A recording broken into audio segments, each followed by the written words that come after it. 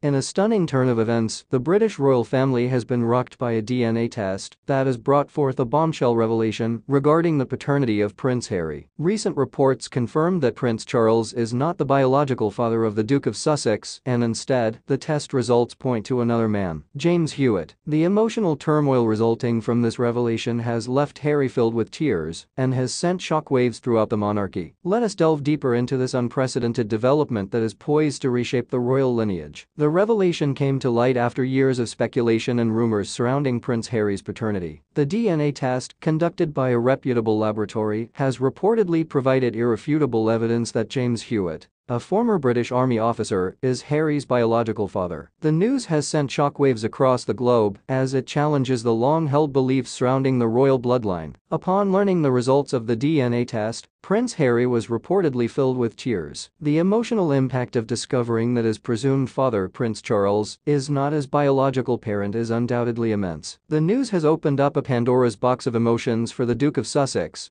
who has long struggled with his identity and place within the royal family. The revelation raises questions about his upbringing, his relationship with his father, and the implications for his own children. The connection between James Hewitt and Princess Diana has long been the subject of speculation and tabloid fodder. Their alleged affair during the 1980s and early 1990s had fueled rumors about the paternity of Prince Harry. Although Hewitt had previously denied the claims, the DNA test results have now brought the issue to the forefront once again. Throughout history, royal families have faced similar controversies surrounding paternity disputes and illegitimate children. The British monarchy is no exception, with previous instances of disputed parentage causing significant upheavals. The news of Prince Harry's true parentage has ignited a media frenzy, with public reactions ranging from shock and disbelief to fascination and intrigue. The revelation challenges the traditional notions of royal bloodlines and raises questions about the role of biological heritage in determining one's place within the monarchy. The DNA test results are expected to have far-reaching implications for the British royal lineage. Prince Harry's position in the line of succession has always been a matter of interest, especially given his recent decision to step back as a senior member of the royal family. With the revelation that Prince Charles is not his biological father, it remains to be seen how this will impact Harry's future role and his relationship with other members of the monarchy. The confirmation of Prince Harry's paternity raises legal and constitutional questions that demand careful consideration. While the monarchy is steeped in tradition, the revelation challenges the established norms and traditions surrounding inheritance and succession. Legal experts are already examining the potential ramifications and whether any changes to the line of succession or constitutional protocols may be required. In the wake of this seismic revelation, it is crucial to recognize the human side of the story. Prince Harry's emotional journey and the impact on his personal relationships cannot be overlooked. The healing process for both Harry and the royal family is undoubtedly a complex and delicate matter that will require time, understanding,